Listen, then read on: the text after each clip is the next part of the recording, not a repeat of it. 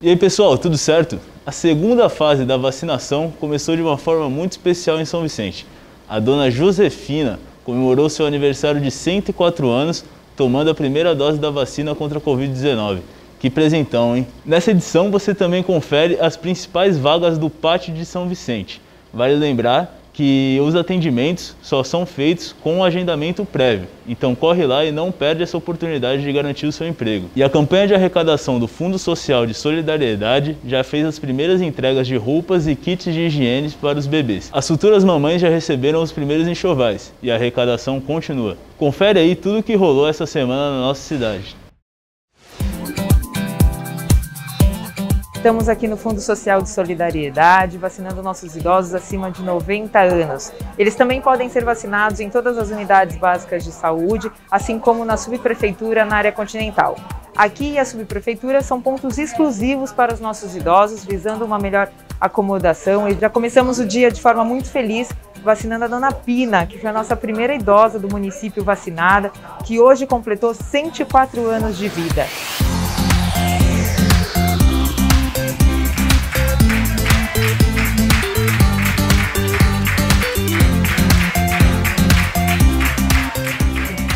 104 anos, estou completando hoje, estou tomando vacina. Aconselho as pessoas idosas que devem tomar. Eu sinto muito, muito feliz, porque graças a Deus eu estou, posso estar aqui tomando a vacina. Estou com 90 e poucos anos e acho que todos deviam, por dever, tomar a vacina como uma prevenção para a sua saúde e imunidade social. Vacinar é levar esperança.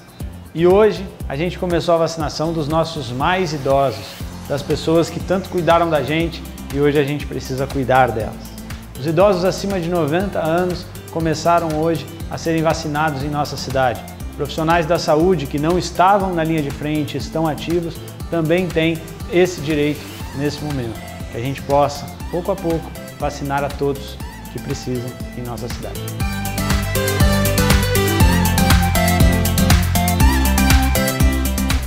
Que Deus abençoe a vacina.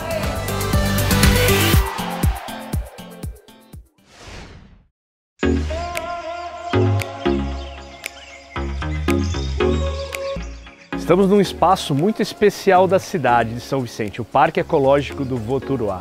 Encontramos esse lugar aqui com vários problemas a se resolver. O trabalho está sendo árduo e longo. Aos poucos tudo está sendo resolvido. Logo esse espaço estará aberto para uso público de todos.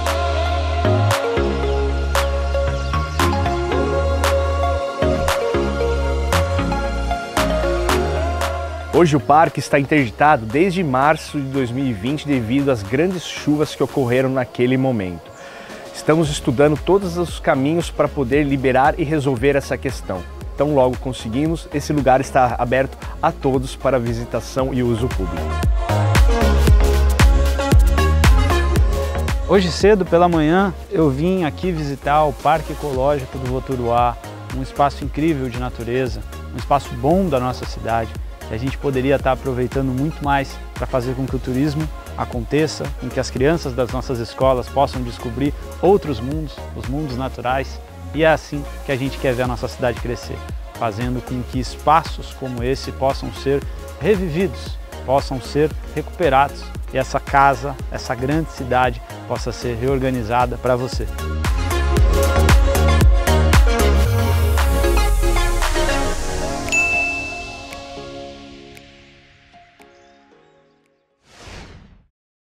Muitos conhecem a Praça João Pessoa hoje como a Praça da Vila Cênica, do Parque Cultural Vila de São Vicente, ou com a Praça do Antigo Mercado Municipal ou da Igreja Matriz.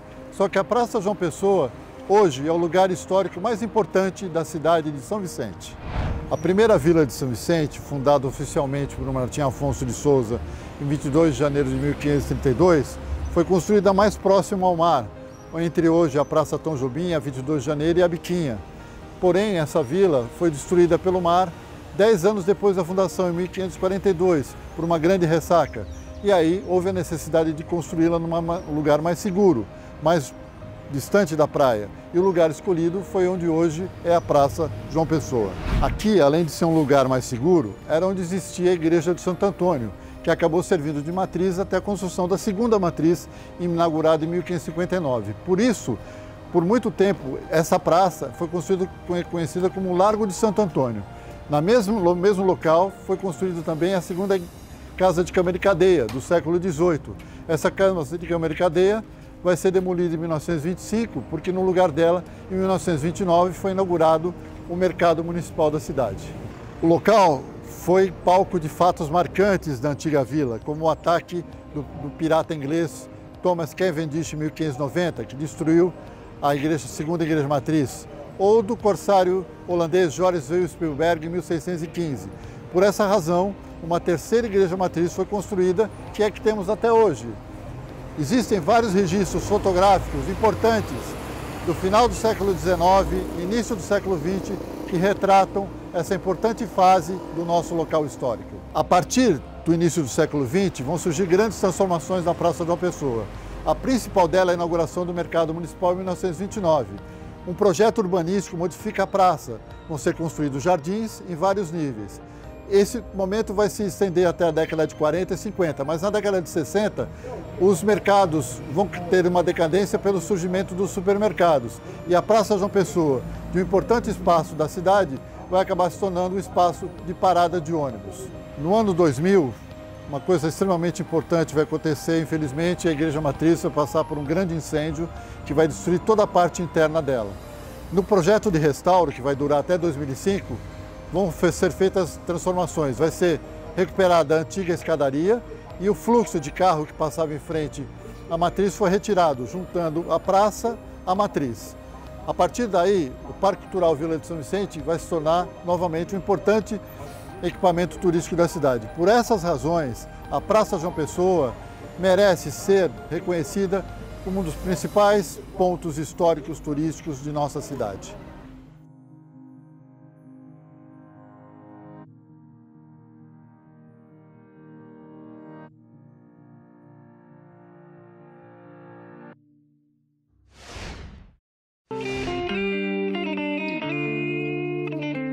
Você sabia que o serviço de catatreco voltou a funcionar na cidade de São Vicente?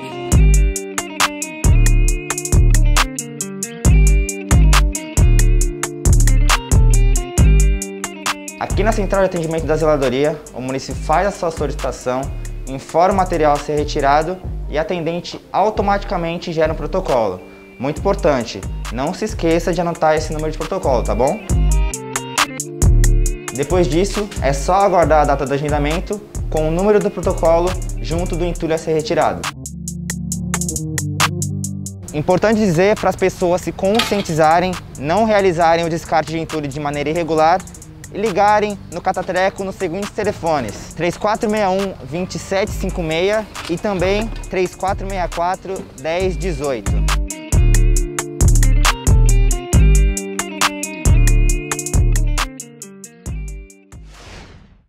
Quando chegamos aqui no dia 1 de fevereiro, o mato chegava aqui a 1,5m, 1,80m de altura. Tiramos todo o mato, roçamos, fizemos uma capinação aqui das margens.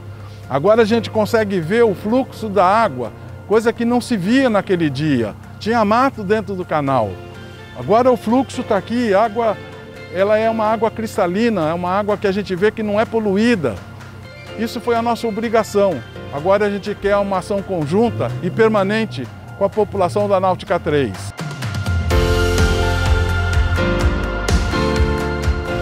Bom, a gente está finalizando o mutirão aqui na Maré, vocês podem ver atrás de mim uma área de mangue, uma área que a gente tem que cuidar bem, que pode ser usada até como iniciativas de é, educação, de informação para todo mundo, né? para todos os nossos jovens e para todos nós aprendermos cada vez mais sobre a nossa cidade. Um espaço lindo, bonito, que precisa ser bem cuidado. A gente fez o trabalho da manutenção, da zeladoria, que passa pela Náutica 3 agora, mas fica sempre a lembrança da conscientização. O que a gente pôde ver foi muito lixo ali doméstico, né? muita lata, garrafa PET, saco de picolé, entre tantas coisas que a gente precisa fazer agora um trabalho de conscientização e educação ambiental para melhorar a qualidade de vida na nossa cidade. A zeladoria passa, mas o cuidado em cada um de nós tem que ficar. Vamos trabalhar e o próximo bairro é Gleba 2.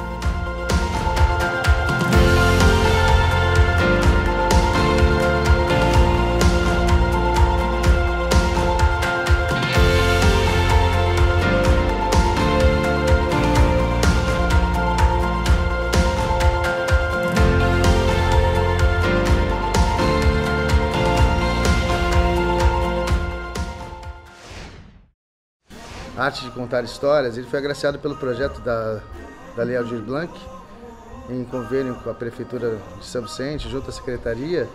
É, ele tinha o intuito né, de proporcionar no bairro de periferia apresentações de lendas folclóricas, lendas indígenas, levando a cultura brasileira para esses povos.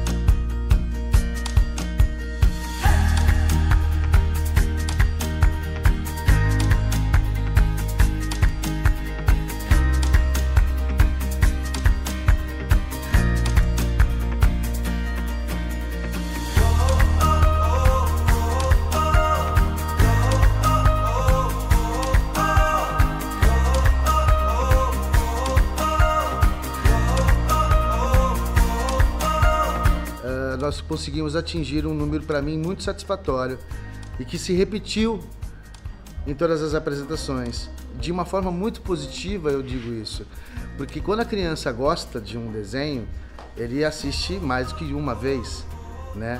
Então, se a criança veio assistir a história mais do que uma vez, a gente percebe que ela gostou da história. Então, a gente consegue ter a dimensão de que foi um sucesso através do público que está vindo assistir. Mais forte! Toque, toque, toque! Abriu as portas do céu!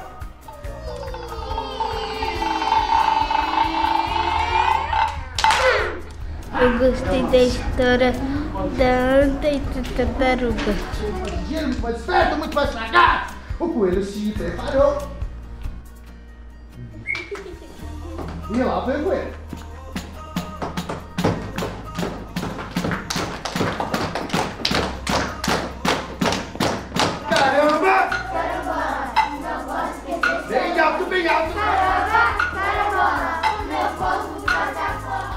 Essa foi a proposta da arte de contar histórias com as histórias de origem que veio aqui para o Maitá, na Estação Cidadania.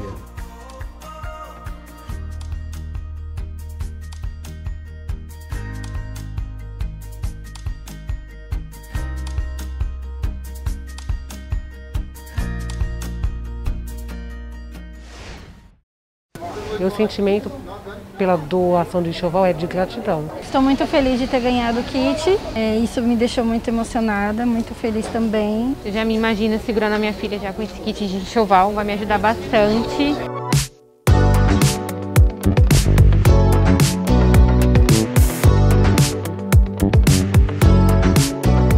A primeira entrega das doações da campanha do Fundo Social de Solidariedade aconteceu essa semana.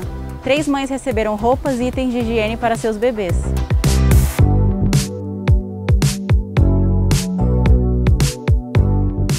Quando ela nascer também postaria a fotinha da, do kit com ela também. E, tipo assim, no que eu puder também estar tá ajudando quando a minha filha nascer, vou estar ajudando outras mãezinhas também.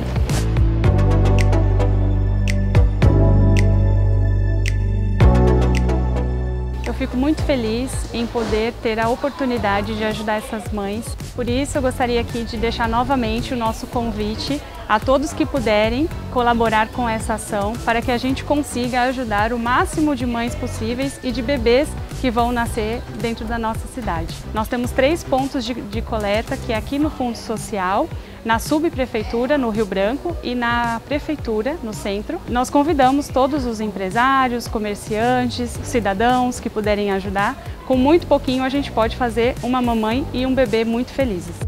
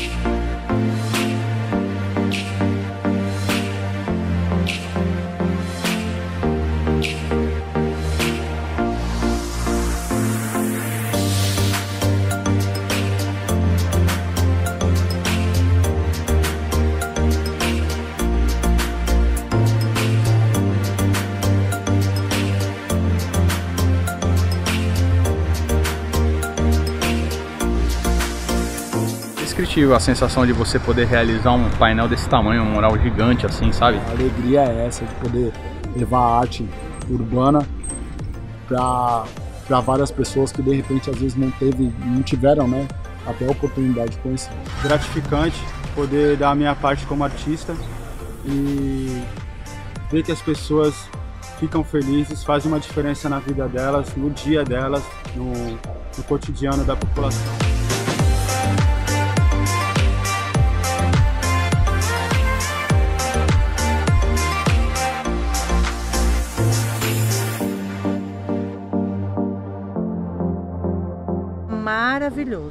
Amei. E é um, uma coisa muito linda que fizeram aqui por causa do VLT, da nossa rua.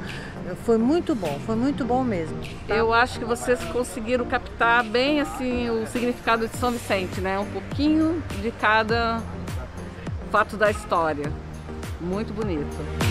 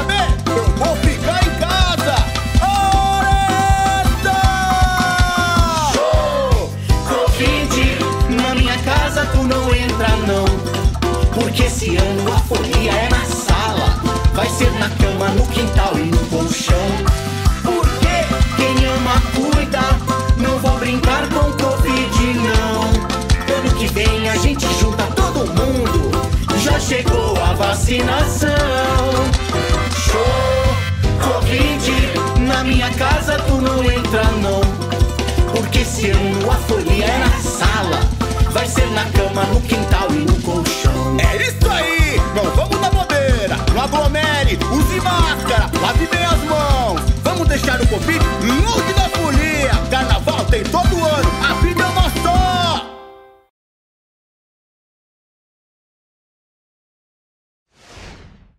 E se você quer ficar bem informado com tudo o que acontece em São Vicente, fica ligado no site e nas redes sociais da Prefeitura.